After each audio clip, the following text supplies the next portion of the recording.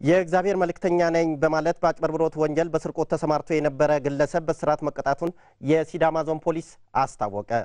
ጉዳዩ እንዲህ ነው።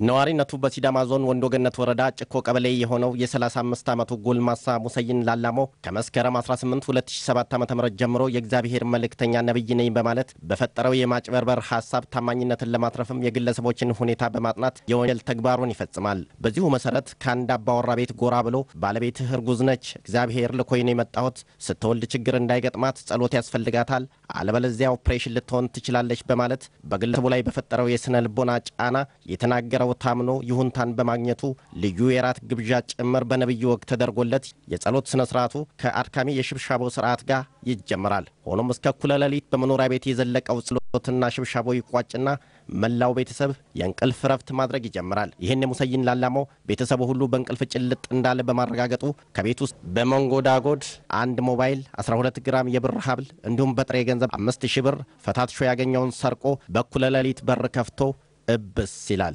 ሲነጋ ቤተሰቡ ሁሉ በግለሰቡ ድርጊት ተገርሞ በዝምታ ይዋጣል።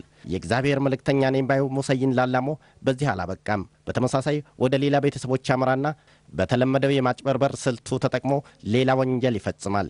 ልክ እንደ መጀመሪያው ቤት የጸሎት ስርዓቱ በካም ሲጠናቀቅ የቤቱ አባወራ ጫት ሸጦ በኪሱ ያስቀመጠውን 15 ሺህ ብርና የተለያዩ አልባሳትን ሰርቆ እኩለ ሌሊት ላይ እንደ ልማዱ ከቤት ወጥቶ ይሰወራል። ይህኛው ቤተሰብ ግን እንደ መጀመሪያዎቹ ተበዳዮች ድርጊቱን ሚስጥር አድርጎ ከመቆየት ይልቅ የተፈጸመው አጭበርብሮት በሌሎች የአካባቢ ሰዎች እንዳይደርስ የግለሰቡን የማታለል ዘዴ እንዲሁም መልክና ቁመናውን ሳይቀር ለአካባቢው ማህበረሰብ ይገልጻል። በዚሁ መሰረት ጥቅምት 18 ቀን 2007 ዓ ም ይኸው ግለሰብ ለሶስተኛ ጊዜ ከአንድ አባወራ ቤት አድሮ በወጣበት ለፖሊስ በተደረገ ጥቆማ ጥቅምት 19 ቀን 2007 ዓ ም በቁጥጥር ስር ውሎ ምርመራ ሊጣራበት ችሏል። የፖሊስ ምርመራ መዝገብ የደረሰው አቃቢ ሕግ በመሰረተው ክስም መዝገቡን የመረመረው የወንዶ ገነት ወረዳ የመጀመሪያ ደረጃ ፍርድ ቤት በቀረበው ማስረጃ ጥፋተኝነቱን በማረጋገጡ ጥቅምት 26 ቀን 2007 ዓ ም በዋለው ችሎት ሙሰይን ላላማው በፈጸመው የማጭበርበር ስርቆት ወንጀል በአምስት ዓመት ከሁለት ወር ጽኑ እስራት እንዲቀጣ ውሳኔውን አስተላልፎበታል።